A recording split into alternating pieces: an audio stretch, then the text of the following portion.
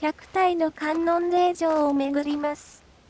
百観音巡礼、坂東の霊場を巡っています。第7番は、要山光明寺です。天が海中から得た観音像を、道義商人が一応を建立して安置したと伝えられています。ご本尊は、召喚世音菩薩です。